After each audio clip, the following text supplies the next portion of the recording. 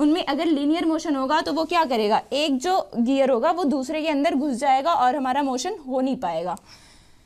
तो हम इसमें देखेंगे कि एन एन के अकॉर्डिंग एन एन जो है हमारा लाइन जो एन एन है, इस पर जो वेलोसिटी होगी, वो क्या होनी चाहिए? ज़ीरो होनी चाहिए। ठीक है? ज़ीरो होनी चाहिए। तो एन एन पे वेलोसिटी कितनी आएगी? वी वन कॉस एल्फा माइ इसको वी वन क्या? इसको वी सी लिखो। Minus V D cos beta is equals to zero ठीक है? अब हमने क्या किया? V v इज़ इक्वल्स टू लीनियर वेलोसिटी को अगर हमें एंगुलर वेलोसिटी में कन्वर्ट करना है तो हमें पता है v इज़ इक्वल्स टू क्या होता है? आर ओमेगा इसको यूज़ करते हुए हम क्या करेंगे? V one is equals to V C is equals to omega one into A C into cos alpha minus V D V D को हम क्या लिखेंगे? Omega two into B D cos beta is equals to B D, cos beta is equals to zero. अब हमने क्या किया? Cos cos alpha को हम क्या लिखेंगे? Cos alpha is equals to, ये हमारा हो गया, ये पॉइंट हमने ई e ले लिया और इसको हमने एफ़ ले लिया। तो ये हो गया A E A E divided by A C minus omega two into B D B two D is equals to B F B D into B F by B D is equals to zero इसको solve करने पे आएगा omega one by omega two is equals to B F ये हमारा है gear one और ये है टू तो B F by A E इसी को हम फिर लिख सकते हैं इजुकल्स टू बी ये हमारा जो पॉइंट है, जहाँ पे ये नॉर्मल ने कट किया है, इसको लिखेंगे ओमेगा वन है तो B P by B P by A P ठीक है?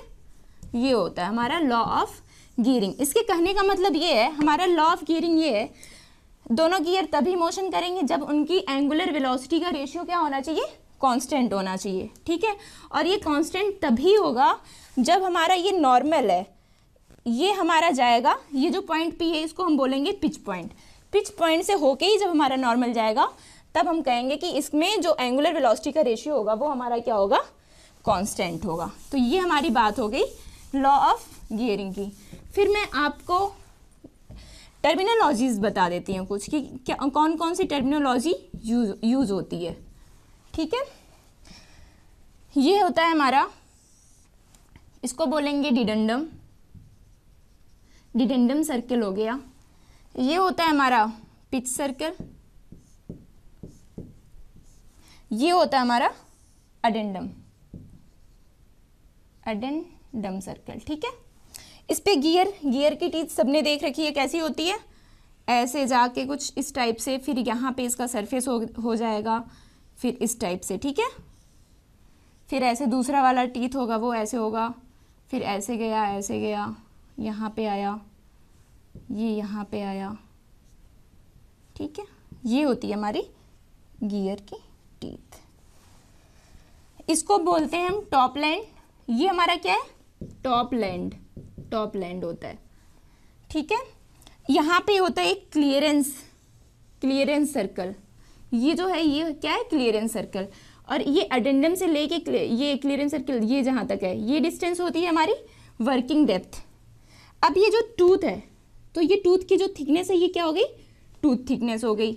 ये इनके बीच का स्पेस क्या हो गया? इसमें टूथ स्पेस हो गया. अब इन दोनों को मिला देंगे तो हमारा क्या बन जाएगा? ये सर्कुलर पिच बन जाएगी. इसी को हम क्या बोलते हैं? सर्कुलर पिच बोलते हैं.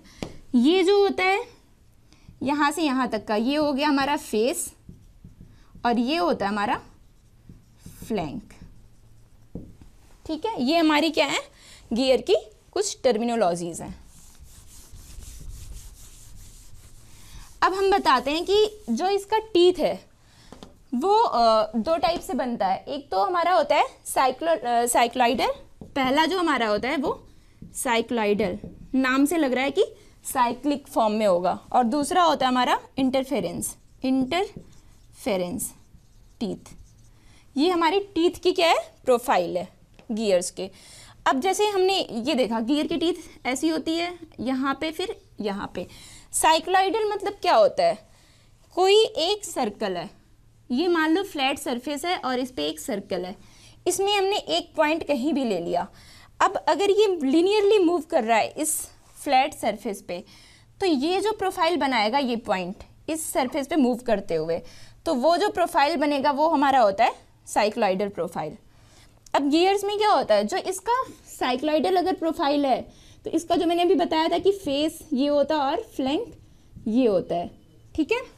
तो जो फेस होता है, वो हमारा होता है एपीसाइक्लिक, और जो फ्लैंक होता है, ये हमारा होता है हाइपोसाइक्लिक। अब इसमें मैंने क्या बताया आपको? एक एपीसाइक्लिक एंड इसमें क्या बताया मैंने? हाइपो एपीसाइक्लिक मीन्स क्या है? कोई एक सर्कल है, इसके ऊपर मान लो दूसरा सर्कल मूव कर रहा है। अब हमने इसमें एक कोई पॉइंट कंसीडर कर लिया, कहीं भी कर सकते हैं।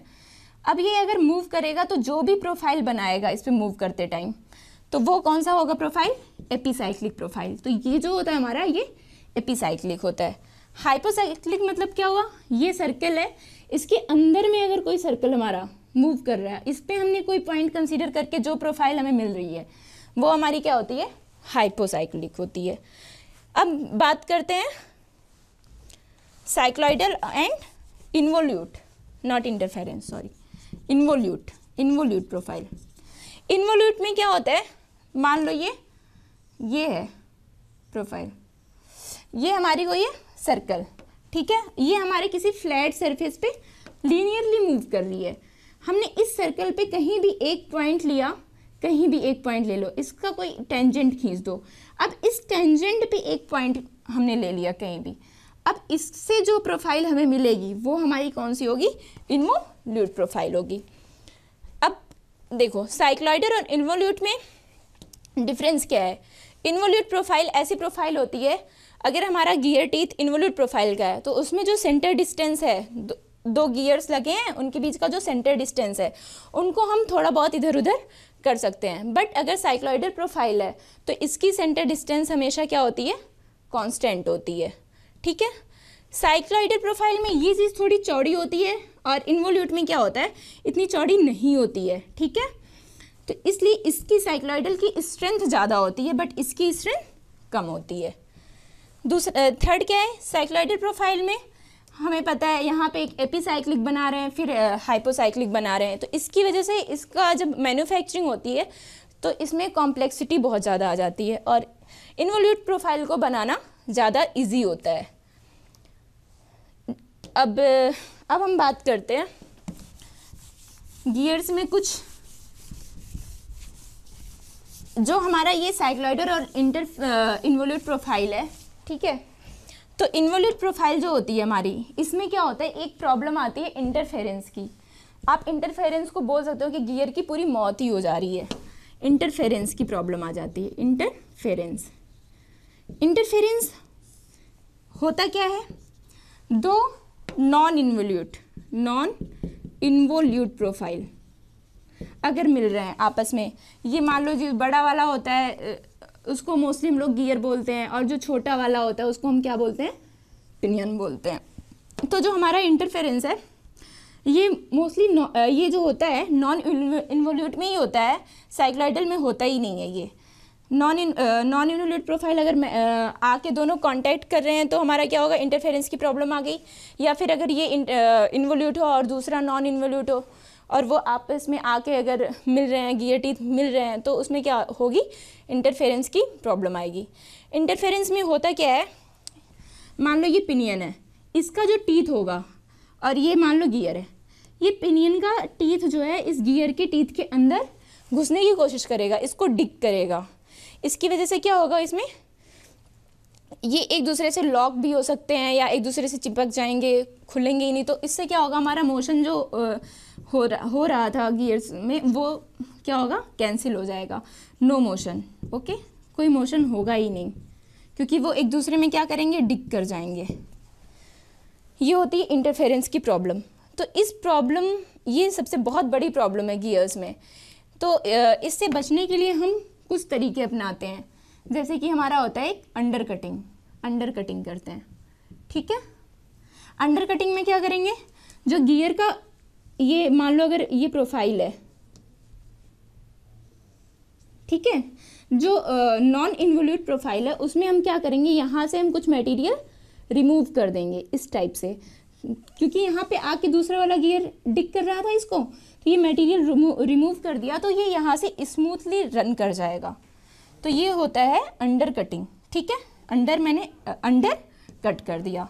दूसरा क्या होगा? प्रेशर एंगल प्रेशर एंगल हमने क्या कर दिया? इंक्रीज कर दिया। ठीक है?